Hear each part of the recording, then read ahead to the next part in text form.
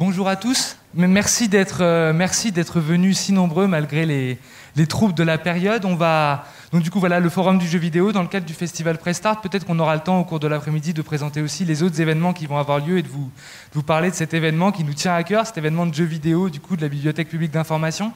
Euh, L'après-midi va être, dense, va être chargé. On a beaucoup de rencontres, donc je ne vais pas faire de longs discours inutiles et on va commencer directement dans le vif du sujet. Mais avant, ça, je voudrais juste simplement vous parler d'un petit projet avec Frédéric Bonnard, qui est professeur au, collège Beaumarchais, juste à côté d'ici, professeur du coup avec une classe de troisième, et Chloé Vigneault de la, société Copotato, dont les, dont les élèves, une classe, est venue pendant le festival. Ça fait un mois, depuis le début de l'année, qu'ils travaillent pour créer des petits jeux. Et donc, ils vont vous présenter les petits jeux, mais je laisse euh, Frédéric et Chloé dire un petit mot pour présenter le projet. Donc, euh, bonjour à tous. Euh, c'est un atelier qui s'est réalisé sur trois mardis après-midi, donc qui représente environ 12 heures de travail et qui a concerné une classe de troisième du collège Beaumarchais dans le 11e arrondissement de Paris. des élèves qui font de la programmation depuis la sixième en mathématiques et dans le cours de technologie. Donc pour vous remercier d'abord euh, la BPI et Frédéric pour la participation à cet atelier. Moi j'ai eu la chance euh, et l'honneur d'accompagner ces élèves sur euh, une dizaine d'heures pour produire des jeux sur le thème post-apocalyptique, le thème du festival. Vous pouvez découvrir leurs jeux à l'entrée, je vous invite à y jouer et bon après-midi à tous. Voilà, vous allez voir, les, élèves vont passer, ça durera des tout petits pitchs de deux minutes, ils vont vous présenter ce qu'ils ont fait. En vrai, c'est très, très charmant et sans plus attendre, je laisse la parole à Erwan pour présenter la, la première table, mythologie et jeux vidéo, héritage religieux des représentations apocalyptiques, peut-être qu'ils changeront un peu les intitulés. Merci. Ah, on a le droit de changer les intitulés Un peu, un peu. Super. Euh, bonjour à tous. Euh, donc, euh, donc bienvenue à, à, cette, à cet après-midi de réflexion autour du jeu vidéo et de la fin du monde, parce qu'on est en 2020 et que ça semble être un sujet d'actualité. Euh, enfin, en tout cas, c'est comme ça que je l'ai ressenti quand on m'a présenté les, événements. Euh, tiens, c'est original, la fin du monde. Euh, en même temps, dans les jeux vidéo, la fin du monde est un thème plus que récurrent, est un thème qui revient tout le temps. On a, ce serait difficile de dire de plus en plus parce qu'il a tout le temps été là. Euh, euh, les, les, premières références qui nous euh, viennent à l'esprit quand on pense fin du monde, elles datent de euh, on va dire, du milieu des années 90 et de la fin des années 90 avec des grands jeux de rôle type Fallout euh, qui, ont, euh, quand même, qui ont quand même marqué, avec le prédécesseur de Fallout, Wasteland, qui date de 1988. Donc on, a comme ça toute une histoire. Et puis évidemment, les derniers jeux en date, parce que c'est vraiment, vraiment un thème très récurrent. on, peut, on, ne, on va en parler de toute façon, et je pense qu'il va revenir de manière régulière dans cette journée parmi les intervenants, c'est The Last of Us 2, euh, qui est donc sorti euh, avant l'été et euh, qui est peut-être qui recoupe en, comme ça en lui beaucoup de ces références post-apocalyptiques avec pas mal de notions sur la nature qui reprend le pouvoir, sur les ruines, sur, sur pas mal de choses qui sont liées au sujet post-apocalyptique. Alors, l'organisation euh, d'aujourd'hui, nous, on, va, on va commencer avec euh, évidemment à parler de jeux vidéo, euh, parce que les deux intervenants ici présents sont des spécialistes du sujet. on va parler d'apocalypse, de, fin du monde, de post-apocalypse, et, et on va essayer de relier ça peut-être pas tout le temps, peut-être pas euh, de manière, euh, de, manière euh, on va dire, on va pas se limiter à ça, mais au, mythe, à la religion et, et au culte autour de, cette notion d'apocalypse dans les jeux vidéo. et donc, parce que je ne vais pas parler après en fait. C'est pour ça que je profite euh, en, début d'intervention. Euh, donc euh, j'ai vraiment le, plaisir et l'honneur d'avoir avec moi donc Jeanne Rousseau, donc qui est fondatrice, auteur, autrice, auteur principale et, et, présidente de Spiders Games. alors voilà, c'est Spiders, tout court. En fait. Spiders, pardon. c'est le nom du studio. Mais c'est pas grave, tout. J'ai copié, j'ai copié collé quelque chose sur Internet, ça doit, venir de là. Euh, voilà. Euh, c'est, euh, est-ce que, est-ce que tu peux bah, peut-être présenter ton studio et, ton travail au sein de ce studio? Tu, m'as dit auteur principal. Voilà, c'est, quoi Oui, bien sûr. Donc, bah, c'est un studio qu'on a créé en 2008 avec quelques collègues avec qui j'avais déjà travaillé, déjà développé des jeux. Euh, et on s'est spécialisé dans le développement de jeux de rôle essentiellement. Donc euh, on a développé, euh, bah, notre sixième jeu est sorti en septembre de l'année dernière. et entre autres, on a effectivement développé deux jeux qui se passent dans un même univers, qui est un univers qui est assez post-apocalyptique, même si on ne peut pas vraiment, enfin c'est un genre un peu particulier puisque ça se passe sur Mars. Donc on, on est à la croisée de deux genres. Euh, mais euh, donc voilà, c'est effectivement des univers qui m'intéressent évidemment et dans lesquels je me suis, euh, dans lequel je me nourris pas mal. et mon rôle effectivement chez Spiders, outre le fait de gérer, encadrer et de prendre des décisions pas toujours marrantes d'ailleurs au quotidien, c'est surtout de concevoir les univers, les scénarios et d'écrire les dialogues en partie ou en totalité selon les projets. Donc voilà, j'ai un et vous venez, euh, il y a quelques semaines, mois, de présenter aussi de, les, images de votre prochain jeu euh, qui s'appelle. Euh, alors oui, oui, oui, on, a commencé, mais c'est le tout, tout, tout début de la production, donc c'est un peu, pour nous, c'est un peu étonnant et bizarre d'ailleurs d'en parler. voilà, c'est vraiment juste un reveal. Mm. Steel Rising, donc notre prochain jeu, qui lui c'est une forme d'apocalypse aussi, mais c'est un peu étrange puisque ça se passe au tout début de la Révolution française. Euh, avec une, horde d'automates qui, euh, qui déferlent sur Paris voir les images sur, le site, c'est pour ça. Euh, ah donc, avec, Jeanne Rousseau, j'ai le plaisir d'accueillir Paul-Antoine Colombani, docteur en littérature comparée, et, entre autres spécialiste des liens entre jeux vidéo et mythologie et philosophie grecque. C'était le thème de votre thèse, ces liens. Du coup, moi j'ai envie de poser une question super ouverte, mais je sais qu'il y a toujours un danger quand, on s'adresse à un universitaire, c'est qu'on soit encore là demain matin. Mais euh, c'est quoi ces liens justement entre, entre le jeu vidéo et la mythologie grecque, la philosophie grecque? Il y a vraiment des liens très forts d'influence de... Alors, euh, alors oui, effectivement, je ne vais pas être trop long, sinon... Euh, mais effectivement, ce qui m'a en fait, moi intéressé dès le début, c'était vraiment de revenir à qu'est-ce que c'est le mythe, qu'est-ce que c'est la mythologie. Et en fait, le mythe, c'est simplement quelqu'un qui un jour décide de, prendre la parole et de euh, raconter une histoire. Et déjà là, il produit en fait du mythe. Et donc, en fait, j'en revenais à ce principe créateur. Le, le, mythe est une création efficace. C'est une création qui agit sur quelqu'un.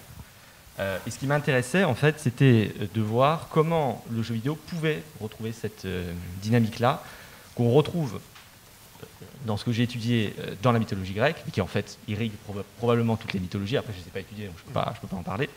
Euh, et en fait, en revenant euh, vraiment à ce principe créateur, donc le jeu vidéo doit nous amener à repenser la société, à repenser le monde, et plus que ça, doit nous amener en fait à agir.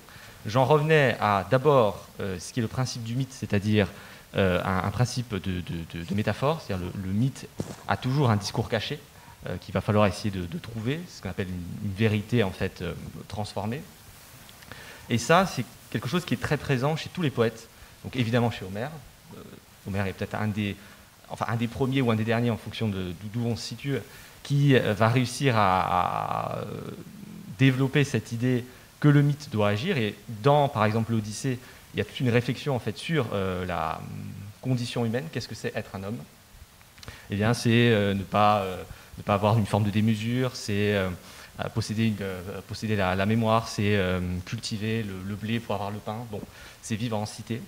et donc j'essayais de montrer que dans le jeu vidéo, on retrouve ces aspects-là. Mais ce qu'il faut peut-être finalement comprendre, c'est que c'était l'objectif, c'était vraiment de montrer le rôle qu'ont les poètes, et en fait les poètes, ce sont aussi les créateurs de jeux vidéo, c'est-à-dire les développeurs et les développeuses, comment ils peuvent montrer le monde et nous amener à le repenser. Mais repenser le monde, c'est pas en fait tout à fait suffisant. C'est-à-dire que le poète peut définir, peut écrire le monde tel qu'il doit être.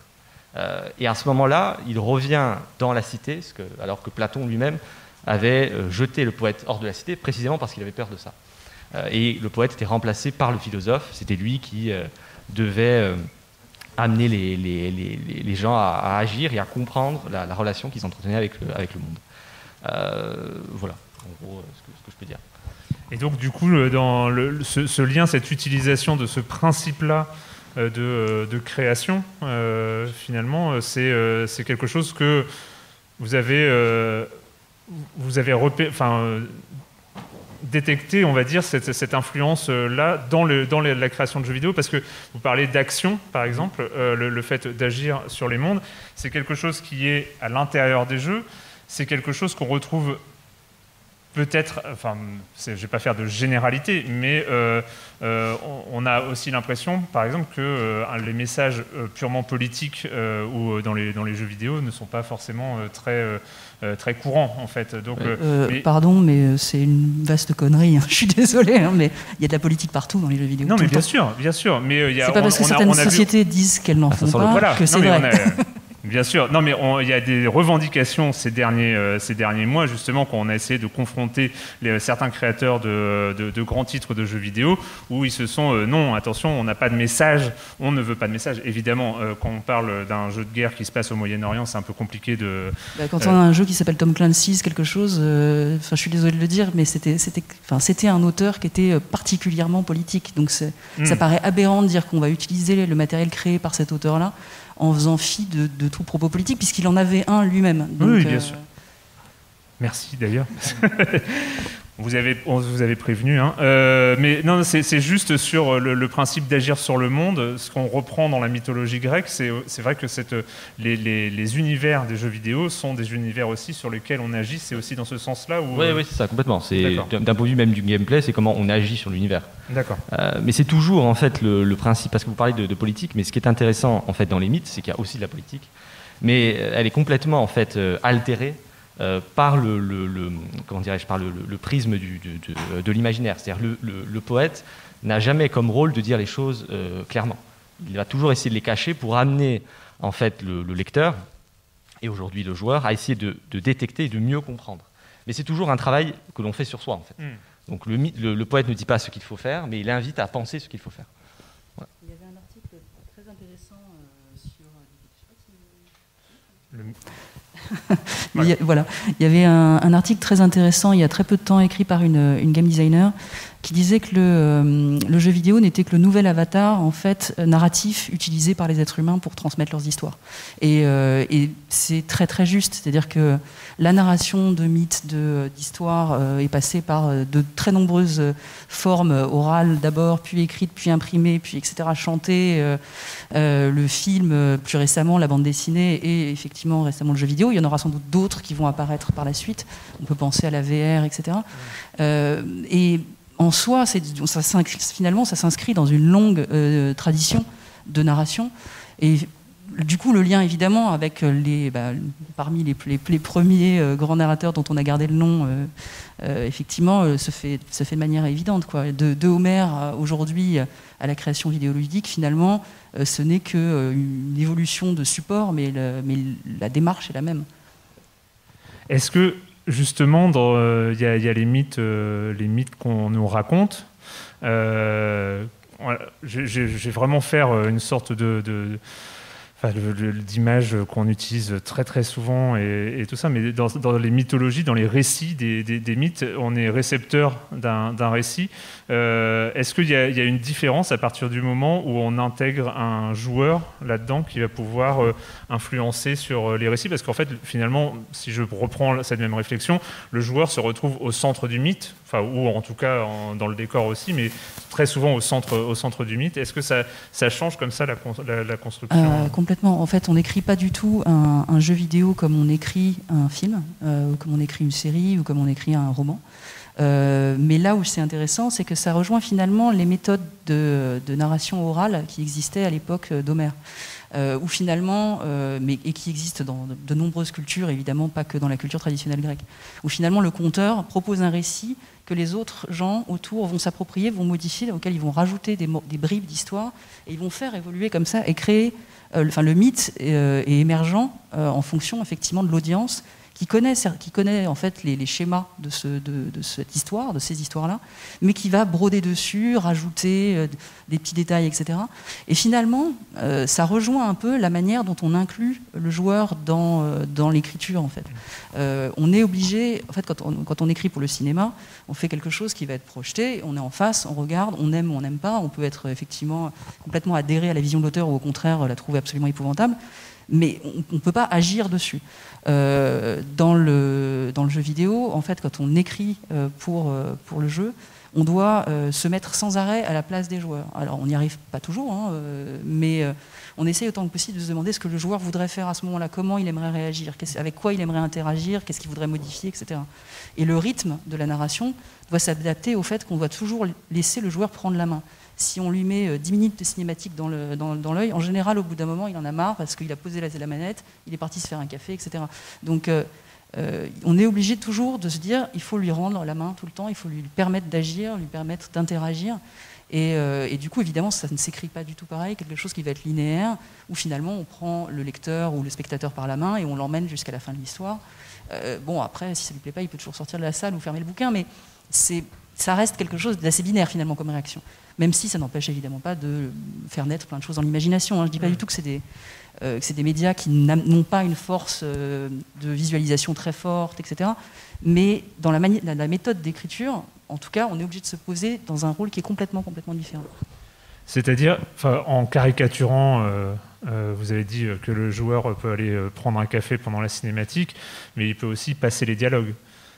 Euh, il peut aussi passer les textes. Évidemment. Il aussi, euh, je ne sais pas qui dans la salle a lu tous les livres de Skyrim, mais euh, c'est, il peut aussi ne pas lire. Il peut aussi ne, finalement aussi ne pas s'intéresser à l'histoire.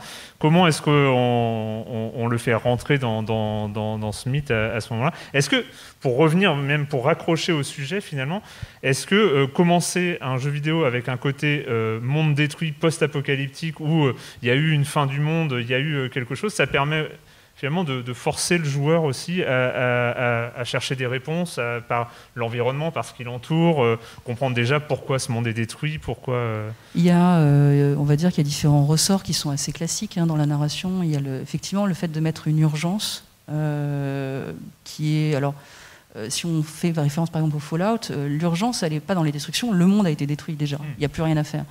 Par contre, si ce qui reste à faire, c'est sauver la petite communauté de l'abri, etc., c'est trouver des ressources qui sont manquantes, etc. donc en fait, on crée une urgence après la dévastation. La dévastation en, tant que telle n'est pas une urgence.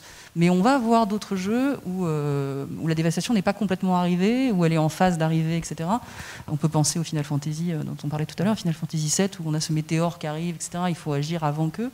Euh, et on est déjà dans un monde qui est quand même qui va pas très bien, qui, est, qui reflète une forme de violence qui évoque quand même pas mal les mondes justement post-apocalyptiques. donc c'est de toute façon, on a besoin effectivement pour motiver, surtout dans les RPG, mais ça se retrouve aussi un peu dans les jeux d'aventure de toute façon, pour motiver effectivement le joueur, lui donner un but global, même si à côté de ça, il va passer son temps à aller chercher des, chats dans les arbres, collectionner des drapeaux et des pigeons.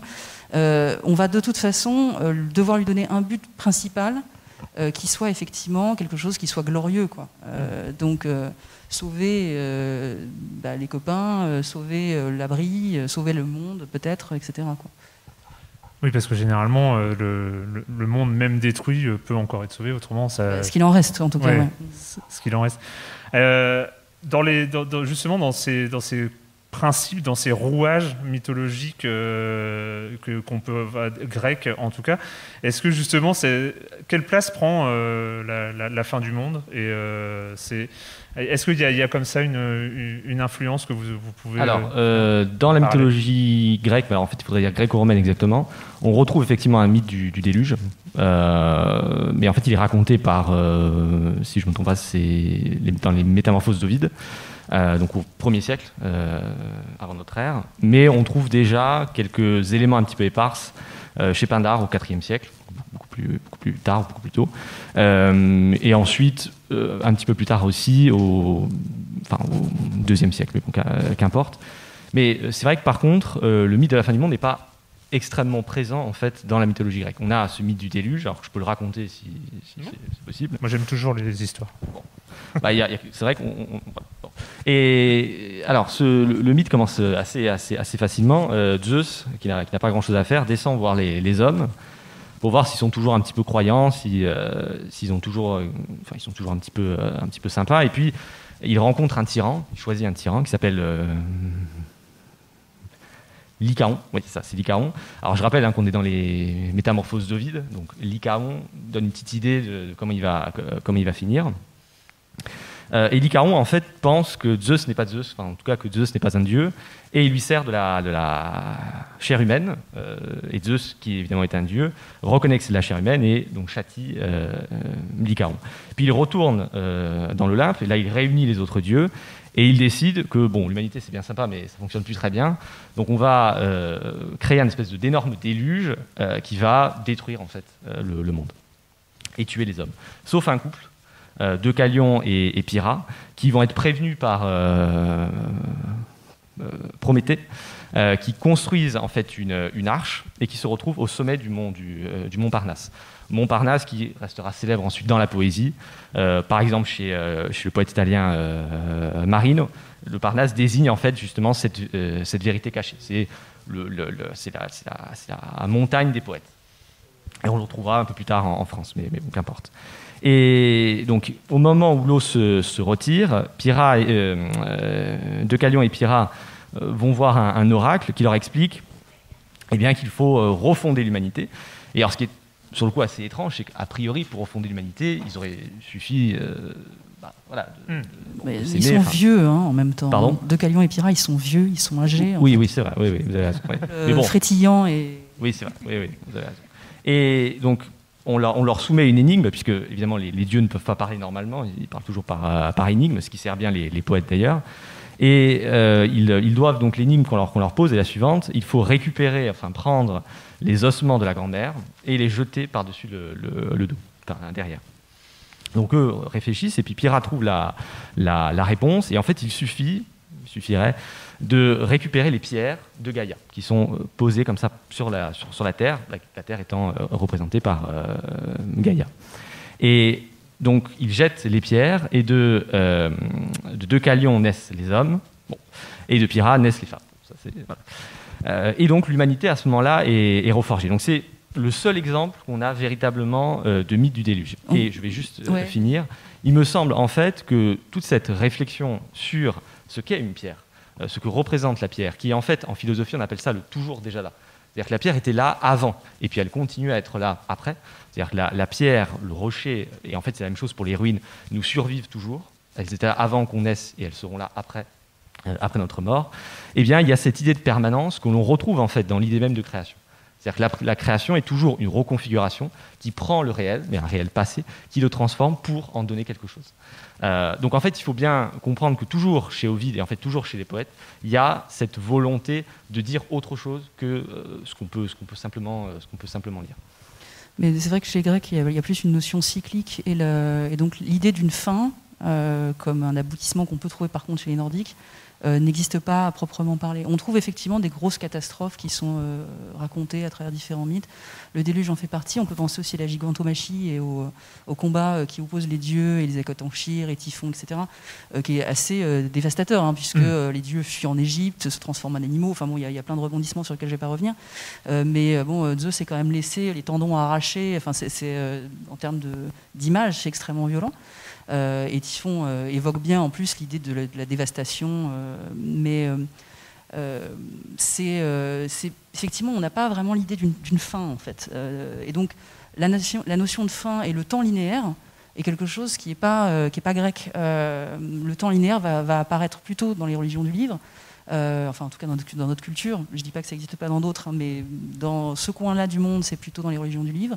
Et effectivement, avec l'idée d'un avancement vers quelque chose, euh, on, retrouve évidemment le déluge dans la, Bible. Euh, et euh, avec l'Apocalypse de Saint Jean, on va effectivement avoir des textes qui sont particulièrement dramatiques et qui vont être en plus extrêmement prisés en Occident dans la représentation visuelle que ça peut évoquer au Moyen Âge. On va trouver ça notamment comme sujet très très très récurrent dans les peintures, dans, les, dans la poésie aussi, etc. C'est vraiment un thème qui, qui est repris. Il faut dire que c'est assez, que toute cette espèce de, poème un peu fou qui est l'Apocalypse il y a des thématiques qui sont, euh, on va dire, assez séduisantes en fait, en termes en tout cas euh, iconographiques.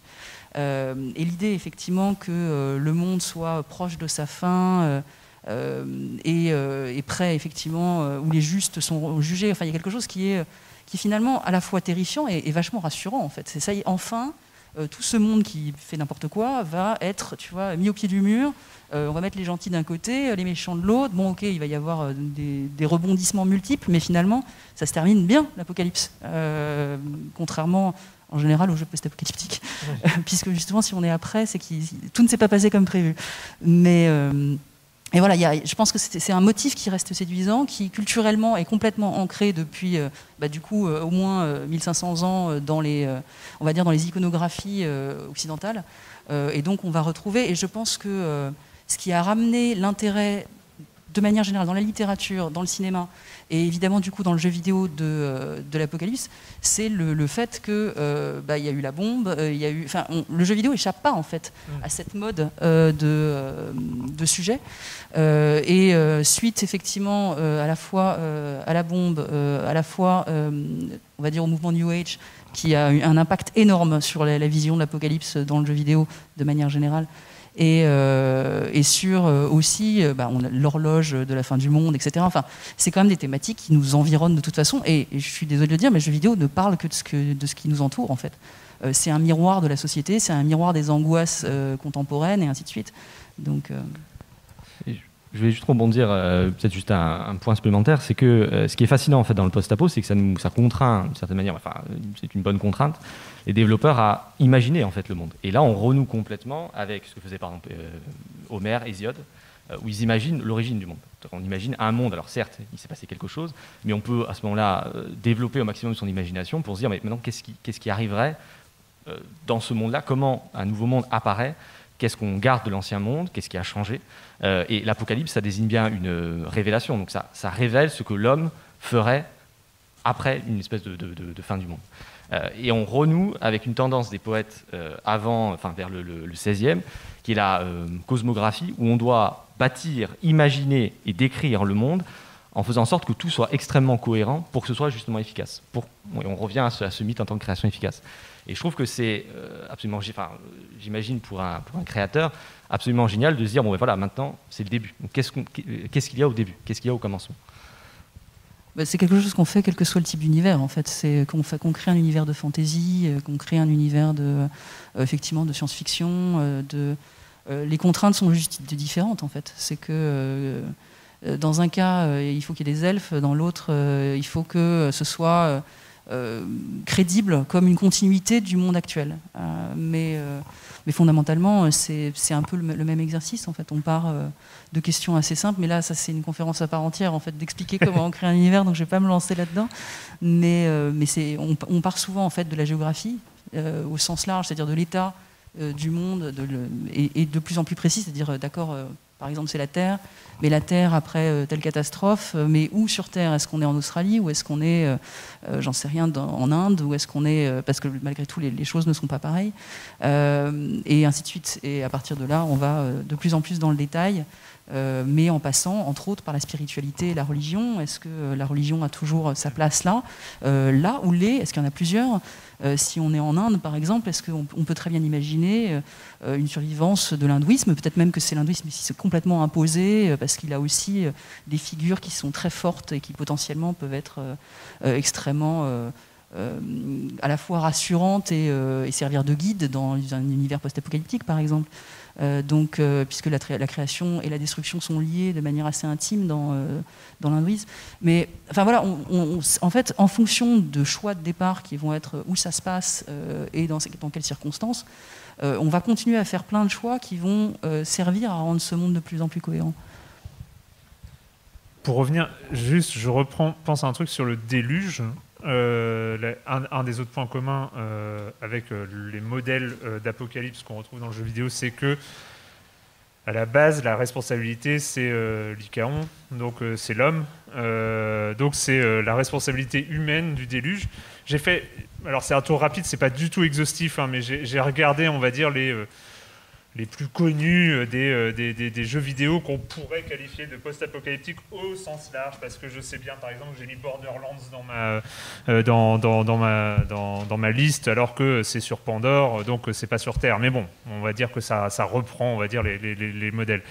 et, et, en fait, j'en ai trouvé que deux où l'apocalypse, on était à peu près innocent. Alors en plus, je m'en souvenais pas parce qu'il y a Rage et Rage 2 mhm. où euh, c'est euh, là pour le coup c'est euh, la chute d'un astéroïde, donc on y est pour rien. en tout cas à, vue, à première vue. on avait bien mérité. Et, et le deuxième, c'est Frostpunk, qui est sorti en 2018, qui était un jeu de gestion post-apocalyptique, euh, où là, c'est euh, l'éruption euh, du Krakatoa et du mont Tambora dans un 1886 alternatif qui ont masqué le soleil. Donc là, encore une fois, on n'y est, est, pour rien. Mais alors, dans tous les autres, on est sur forcément la catastrophe nucléaire, l'épidémie incontrôlée, l'attaque biochimique. Mais l'épidémie qui souvent est provoquée, qui n'est pas une épidémie naturelle, elle est quasiment systématiquement provoquée par un obscur laboratoire dont le logo ressemble à un, parapluie. Quoi. Mais c'est, on, est, effectivement euh, presque toujours, et euh, c'est vraiment quelque chose qui est, je pense, honnêtement plus lié à une vision de l'apocalypse et, du déluge euh, qui est biblique, on va dire, au sens très large, que, proprement parler grec, parce que même si euh, les Grecs euh, perçoivent cette espèce de, renouveau nécessaire en fait de, l'humanité euh, avec le, on se débarrasse de, tout ce qui ne va pas pour amener une meilleure, un, nouvel âge en fait hein, et un âge plus positif. on n'a pas cette idée de culpabilité très forte. La, la, culpabilité est quelque chose qui est vraiment, on va dire, particulièrement euh, prisé euh, dans le, et, euh, valorisé dans, la, dans les religions du livre. Et c'est quelque chose qui effectivement est, quand même assez mis en avant. probablement parce que, parce que la plupart de ces jeux-là sont des jeux qui ont été conçus aux États-Unis. Un et, honnêtement toute la réflexion on va dire moraliste ou amoraliste d'ailleurs des, des, jeux post-apocalyptiques est, je pense, extrêmement nourri d'une culture américaine euh, qui, est, euh, enfin, qui a ses particularités en fait.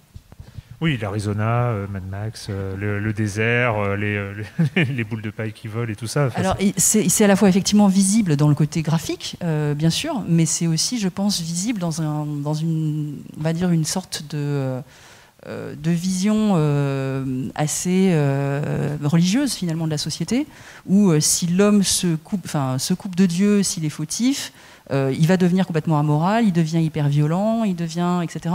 la société va péricliter, on est vraiment dans la punition divine complètement, y compris dans Westland. Et pourtant, c'est présenté de manière hyper punk, déglingue, etc. Et c'est super, mais on sent quand même une culture dont ils ont pas pu se débarrasser parce qu'elle fait partie d'eux, euh, je pense, euh, profondément, euh, qui, est, bah, qui est assez typique, on va dire, de, de, cette forme de religiosité américaine qui est plus. enfin, qui n'est pas que catholique, etc., qui est, qui, qui est vraiment. Il y, a, il y, a, tous ces mouvements religieux qui sont très spécifiques. D'ailleurs, il y a très très souvent des sectes qui sont présentées dans ce genre de jeu, toutes plus déglinguées les unes que les autres, d'ailleurs, entre le culte de la bombe, etc. Enfin, on, on a les, sectes religieuses présentées là-dedans font malgré tout aussi référence à pas mal de cultes qui sont euh, assez euh, typiques euh, américains et qu'on peut, retrouver en vrai, entre guillemets, aux États-Unis, là-bas. Donc je pense que c'est quelque chose qui est aussi lié vraiment oui, à, une, à une culture qui est locale. Quoi. qui est et c'est un point que vous, avez abordé là et que je trouve assez intéressant aussi, c'est euh, dans, le déluge grec, euh, on va dire qu'on se débarrasse de la mauvaise engeance et on, et reboot l'humanité euh, sur des bonnes bases. L'apocalypse dans les jeux vidéo, c'est un petit peu l'inverse. C'est-à-dire que, mis à part le joueur, qui s'il veut bien, il est gentil, Mais alors tout ce qui l'entoure, euh, il ne reste plus que une sorte de sauvagerie généralisée parce que à partir du moment où euh, la société est tombée, où la civilisation est tombée, avec ses religions, avec sa morale, avec ce, genre de choses, euh, bah, tout le monde n'a qu'une seule envie, c'est de se mettre sur la gueule en fait. Je peux... Merci. Euh, mais alors ça, sur le coup, c'est quand même très grec, parce que, par exemple, chez, chez Aristote, l'homme qui ne vit pas en cité, c'est un dieu ou un monstre. Donc il y a quand même cette idée que si on ne vit pas en communauté, on est quand même un peu un barbare. Enfin, un barbare terme n'est pas correct. Mais l'homme est un animal politique. Euh, pardon? L'homme est un animal politique. Oui, oui, c'est ça. L'homme est un animal politique, exactement. Donc, on a quand même quelque chose qui fait que qui invite l'homme à vivre en, cité et pas simplement en fait à vivre, mais à mieux vivre, à bien vivre. C'est vraiment le, terme que ce qu'on appelle en grec euh, le, le, le démonia. C'est-à-dire qu'on ne vit pas en cité parce qu'on n'a pas le choix. On vit en cité parce que pour vivre le mieux, on a besoin de ça. On a besoin d'être en communauté. Euh, et chez Aristote, il y a un terme qui, en grec qui est la, la, philia. Alors, on voit la référence en français. La philia, c'est l'amour, l'amitié, qu'on pourrait aussi traduire par la conciliation. C'est quelque chose qu'on trouvera chez Montaigne, par exemple, aussi un peu plus tard. Et donc, c'est bien qu'il faut entretenir un rapport de, connaissance de l'autre, un rapport d'intimité presque avec l'autre, pour être capable de bâtir une société qui soit la plus juste possible. Euh, donc, il y a quand même, pour revenir à ce que vous disiez, il y a quand même cette idée que si on ne vit pas en cité, bon, on est, euh, un monstre. Et je reviendrai juste sur un point qui est aussi très grec, c'est que euh, il n'y a pas, a pas de, alors il a pas la notion de péché chez les Grecs évidemment. Par contre, il y a quand même une notion de démesure, ce qu'on appelle euh, libris ou loubris, et que si l'on transgresse une frontière, ce que, dit aussi le mot, le mot eh bien, on peut être châtié euh, par les dieux. Dans les Métamorphoses de bon, ça s'exprime comme ça, chez Homère aussi évidemment. et en fait, ce qui est tout à fait intéressant par contre, c'est que ça n'empêche pas d'agir. C'est-à-dire que l'oubris peut être contourné, mais il faut être assez malin et euh, l'intelligence rusée, la, métisse chez les Grecs est extrêmement importante. C'est-à-dire qu'il faut savoir euh, contourner les frontières sans se faire voir par, euh, par les dieux. Mais si par contre on est vu, si on est pris au piège, bien là par contre on reçoit le châtiment divin, bon, qui est généralement assez, assez violent. Mais euh, alors effectivement, je, confirme tout à fait. C'est peut-être l'oubli, c'était peut-être la seule chose qu'on puisse rapprocher de la notion de péché euh, euh, chez les Grecs. Mais pour revenir à, la, ce que tu disais sur le sur le fait qu'on est dans un monde effectivement amoral, violent, etc. personnellement, plus que comme une, une, vision effectivement, on va dire relativement grecque des choses, du zone politikon qui, parce qu'il est sorti de sa ville, se retrouve euh, bah, effectivement à l'état sauvage. Euh, parce qu'il y a des villes, euh, il y a souvent des villes d'ailleurs dans les jeux post-apocalyptiques qui sont représentés. dans Fallout, on, a des, alors c'est des petites villes, c'est des espèces d'assemblages de, bicoques peut-être, mais il y a quand même cette idée de se retrouver en groupe. il y a des clans, il y a des donc c'est pas forcément parce qu'il est sorti du clan que, que l'homme devient violent, mais personnellement je le vois effectivement plus comme l'idée de il y a eu l'apocalypse et maintenant on est en enfer. Et maintenant du coup euh, parce qu'on est en enfer, on est dans cette espèce de monde inversé, où, euh, où ce qui représentait avant, ce qui était rassurant, devient maintenant effrayant et dangereux. Euh, où il y a plus, enfin effectivement les règles ont volé en éclats. On est dans une vision extrêmement moraliste en fait, vraiment de, cette idée de puisque l'apocalypse a eu lieu, puisqu'on a causé l'apocalypse d'une certaine manière, et eh ben forcément on arrive à cette espèce de monde inversé où, euh, la, morale a volé en éclats, où il n'y a plus les limites sociales, etc. Et, c'est notre punition, en fait. Euh, c'est notre grande faute, etc. On peut se, flageller un petit peu au passage. Euh, et même si derrière, évidemment, le personnage du joueur a la possibilité, lui, d'être le gentil, d'être celui qui va ramener l'équilibre, qui va rétablir les choses, qui va, etc., potentiellement retrouver le paradis perdu. On est, on est assez proche de Milton aussi hein, dans l'Apocalypse. Je crois qu'on arrive au bout. Euh, comme quoi, hein, même euh, avec, euh, avec des, sujets comme ça, on, arrive à. On, arrive à, aller, assez loin dans, la discussion. En tout cas, c'était un, vrai plaisir. je vais redonner. Bah, merci en tout cas. merci Jeanne Rousseau et, et merci Paul-Antoine.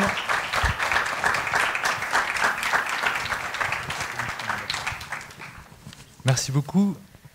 Peut-être on, a peut-être on peut prendre une ou deux questions peut-être ça Avec plaisir. Est-ce que est-ce qu'il y a des gens dans la salle qui ont des questions? Bonjour, merci pour cette discussion très enrichissante. Euh, je voulais vous demander justement, euh, là, jusqu'à maintenant, en fait, on disait que les, post les, les dimensions de post-apocalyptique, avait toujours un post. C'est-à-dire qu'en fait, l'humanité n'est pas complètement détruite comme on voyait dans les, dans les différentes mythologies, ou euh, comme le, le, jugement dernier, comme on voit dans la mythologie chrétienne, normalement, plus d'humanité. Et donc, du coup, je me demandais si vous connaissez de, de, des jeux où, justement, euh, à part The Forest, où on a justement cette notion de dire oui, on détruit l'île ou non, on détruit pas l'île, qui apparemment, euh, d'après l'histoire, serait le dernier symbole de l'humanité. Euh, Est-ce que vous connaîtriez d'autres jeux justement qui euh, dit bon ben on va chanter mais toute l'humanité parce que c'est soit c'est le choix scénaristique ou c'est le choix euh, de, de, on va dire du joueur. alors en général, enfin ça arrive, hein, euh, mais c'est souvent des choix de fin de jeu en fait. C'est vraiment la décision ultime à prendre. Euh, bah, dans un de mes jeux notamment, c'est possible. Euh, à la fin de Bound by Flame, on peut décider de euh, transformer la, la, la, Terre en gigantesque volcan magmatique et voilà, il n'y a plus d'humanité. C'est possible. Maintenant, bon, c'est évidemment à partir du moment où on fait le choix, bah, c'est fini quoi. C'est le, le... oui, oui. Et juste aussi que je, vous, je suis totalement d'accord avec vous, le, le, jeu vidéo ne peut pas être construit comme un, comme un, comment dire, comme un livre ou comme un jeu de société, etc. C'est tout à fait d'autre, une, manière, une autre manière effectivement d'apporter l'histoire. Euh, donc euh, prenons l'exemple effectivement de Prométhée, euh, Prométhée. Euh, Thésée, justement, avec cette mythologie de la file d'Ariane, et ben, il y a un jeu qui s'appelle Théséus, et c'est un jeu en VR que ceux qui ont une VR, eh ben, ils jouent, je vous le conseille vivement. Et justement, nous sommes euh, un peu spectateurs de ce, jeu, de cette aventure de Thésée. Et en fait, on l'aide juste à, faire quelques, actions. Et en fait, littéralement, nous sommes euh, un peu le spectateur, ou euh, je sais pas, mais en tout cas derrière. Prométhéeus. Théséus. Euh, derrière ce truc. Mais là, voilà, j'ai juste apporté que je suis totalement d'accord avec vous. Est-ce qu'on prend une deuxième question Ou est-ce qu'on passe à la suite? Alors par contre, euh, je, je, suis désolé, oui. je, je dois oui. être un peu embêtant. Si, si, les personnes peuvent parler un peu plus fort, parce que je suis un peu, je suis un peu dur d'oreille, euh, de rapprocher vraiment le micro, parce que voilà, sinon je... On prend oui, deuxième question. Juste, j'ai trouvé un, un jeu post-apocalyptique où il n'y a pas d'humanité du tout. Il y avait Tokyo Jungle, où euh, ça se passait, il y avait, il y avait que des animaux, en fait. C'était assez rigolo ça commençait comme ça. Il n'y avait pas le choix en fait.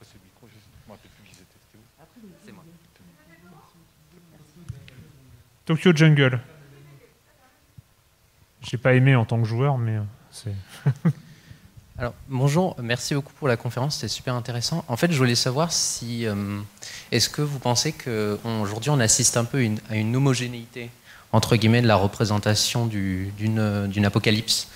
Dans le sens, euh, j'ai l'impression qu'aujourd'hui, dans le jeu vidéo, on a une vision très occidentale de ce que pourrait être une apocalypse. Et je voulais savoir, en fait, si, pour vous, par exemple, comment vous pourriez imaginer une, une apocalypse représentée par un pays d'Amérique du Sud ou par l'Afrique, ou savoir quelque chose un peu. Euh, enfin, je sais pas. Je me demande, en fait, si les développeurs, ils essaient pas, ils s'enferment pas un peu dans une représentation euh, d'une vision euh, qu'on pourrait avoir, alors qu'aujourd'hui, on voit, par exemple, l'émergence des ce qui s'appelle les wholesome games, c'est-à-dire les jeux qui valorisent quand même le, le partage et, le, et la bienveillance. Et en fait, je me demande du coup si ce serait pas aussi une option.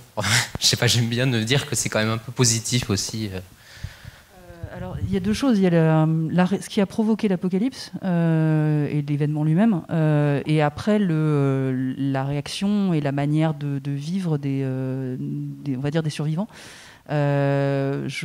le fait est que, et on en parlait tout à l'heure, euh, en fait, dans les quelques exemples de catastrophes euh, massives euh, qui sont réellement arrivées dans l'histoire, on sait que finalement les gens se sont plutôt montrés, mis à part peut-être quelques petits groupes, etc., mais se sont montrés plutôt solidaires, voire même très solidaires. Euh, ça a créé au contraire un sentiment très fort d'entraide euh, qui, qui n'existait pas forcément au quotidien avant euh, cette espèce de, catastrophe. Euh, alors on parlait de Katrina, mais, c'est arrivé à d'autres endroits et c'est assez bien documenté.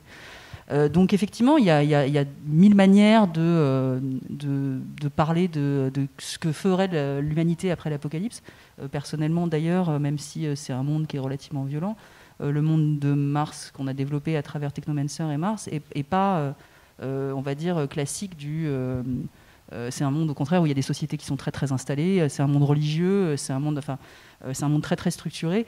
on n'est pas du tout dans l'apocalypse à la Mad Max qui est finalement encore très très présente dans, dans l'imaginaire effectivement de beaucoup de jeux occidentaux.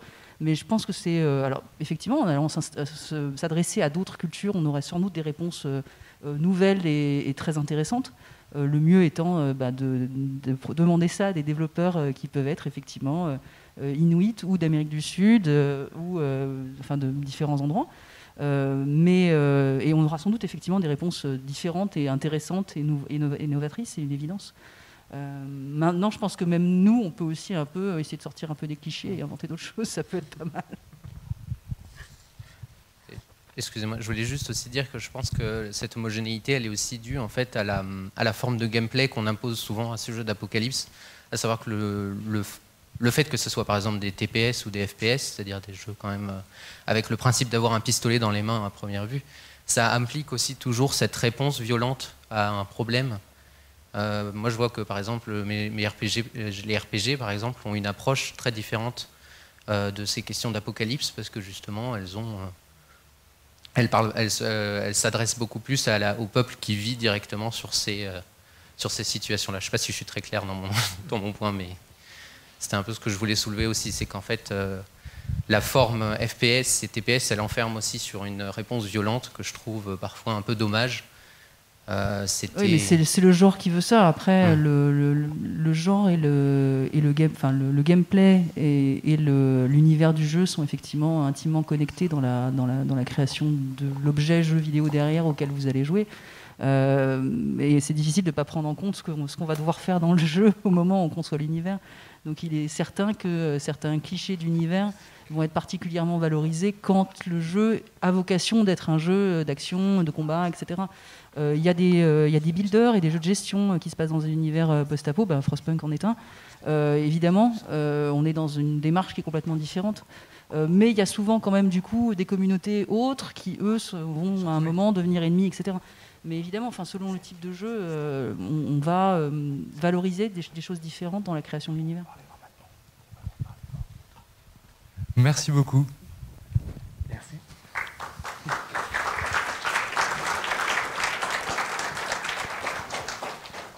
Avant de continuer les réflexions du coup sur les, rapports entre jeux vidéo et, société, qui sont le, thème du coup de, ces rencontres, vous avez les programmes dans la main. On va simplement laisser présenter le groupe des, crocodiles, n'est-ce pas?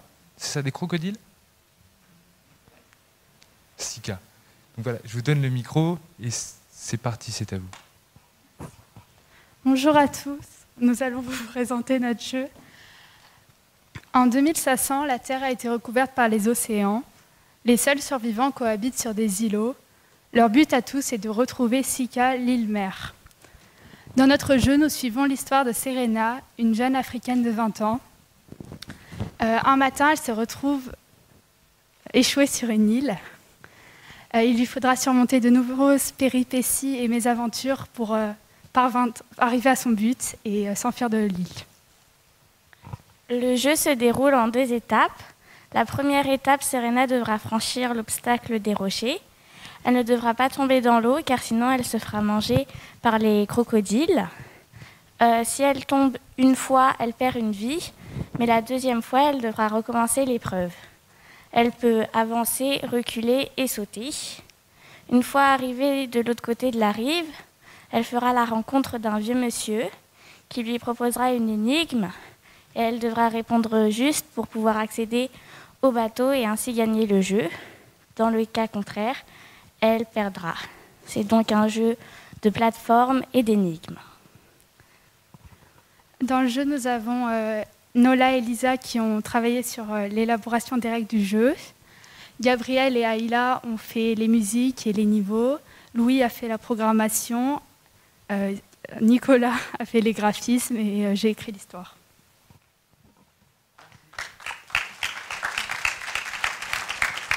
Merci beaucoup.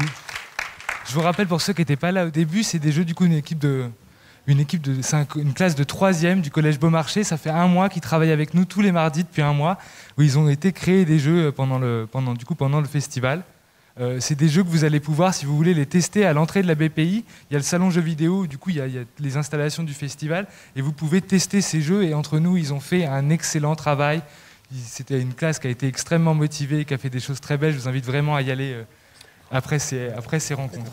Et je laisse immédiatement la parole à Jean Z pour la deuxième rencontre.